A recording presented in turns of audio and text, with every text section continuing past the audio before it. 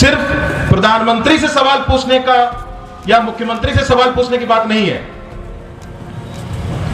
दो ज़िले में मैं भी डीएम रह चुका हूँ, कलेक्टर रह चुका हूँ। एक नागरिक सरकारी ऑफिसर, ऑफ़िस में, दफ्तर में हाथ जोड़ के ही आता है। हक से नहीं आता है।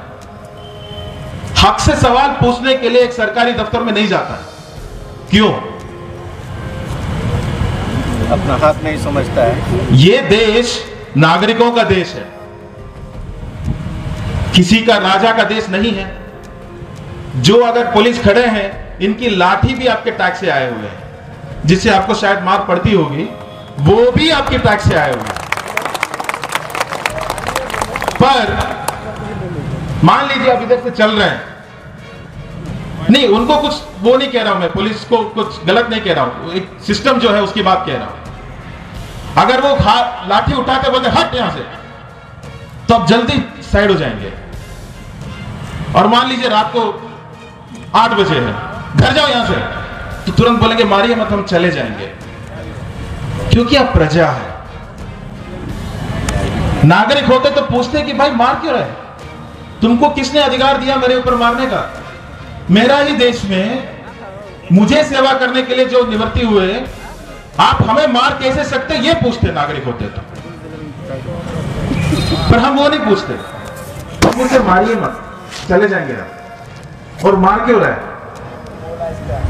जब अपने आप को नागरिक नहीं महसूस करते तो सरकार से ज़िम्मेदारी मत एक्सपेक्ट करिए। उसकी उम्मीद मत रखिएगा। जब खुद से नागरिक होने का उम्मीद नहीं है आपको तो सरकार से ज़िम्मेदारी होने, जिम्मेदार होने का उम्मीद भी मत रखिए। वो भी राजा की तरह ही बिहेव करेंगे, जब तक आप प्रजा की तरह बिहेव करते रहेंगे। ये मैं अभी किसी ने, कई सारे लोगों ने बल्कि मैसेज किया। जब उनको पता चला कि मैं सिवान में आ रहा हूँ, उसमें से एक ने मैसेज किया है कि यहाँ से कई सारे लोग बाहर जाते हैं। वो, क्योंकि काम के लिए बाहर जाते हैं और शायद ड्राइवरी करके ड्राइवरी करने का कई सारे लोग निकलते हैं यहाँ से। उन्होंने लिखा है कि बिना घूस का हमें ड्राइविंग लाइसेंस मिलता ही नहीं। हेवी मोटर का जो है ड्राइविंग लाइसेंस मिलता ही नहीं यहाँ पे। और हम दूसरी स्टेट से दूसरे जिलों से जाके वो ड्राइविंग लाइसेंस बना के यहाँ से कहीं और जाके नौकरी ढूंढते हैं। और वो चाह रहे थे कि मैं इस मुद्दे को इस मंच से बोलूँ। भाई सिवान मेरा है कि आपका है? अगर आपको यहाँ पे दिक्कत है आप सवाल पूछेंगे कि आप उम्मीद रखेगा कोई और आके वो सवाल उठाएँगे?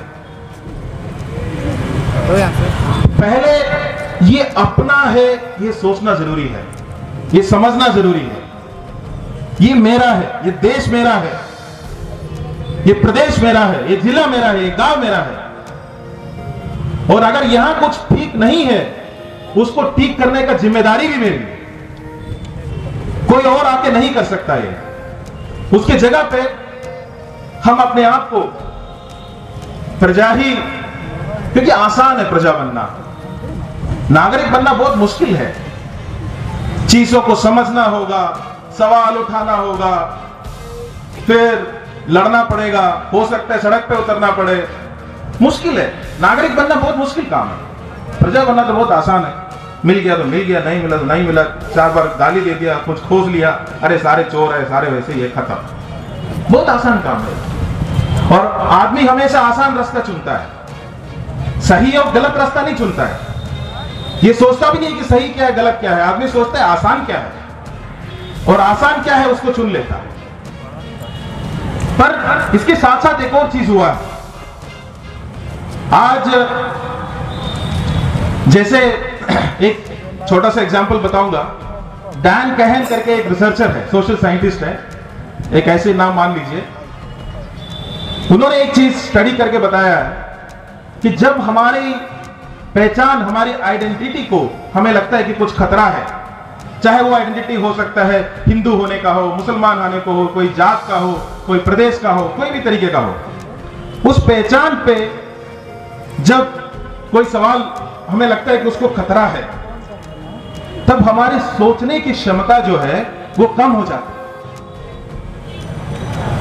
अगर आज सवाल होना चाहिए ताकि पेट्रोल के दाम क्यों इतने बढ़े हैं? पर वो नहीं होता। क्यों? भाई, जब हिंदू खतरे में है तो क्या पचास रुपए ज़्यादा नहीं दे सकता पेट्रोल के लिए? ये वो इसलिए नहीं है कि हिंदू खतरे में है, इसलिए वो नहीं है। ये दिमाग में आ जाता है कि पहचान, हमारे अस्तित्व खतरे में है तो थोड़ा बहुत नुकसान तो सह लेंगे ना।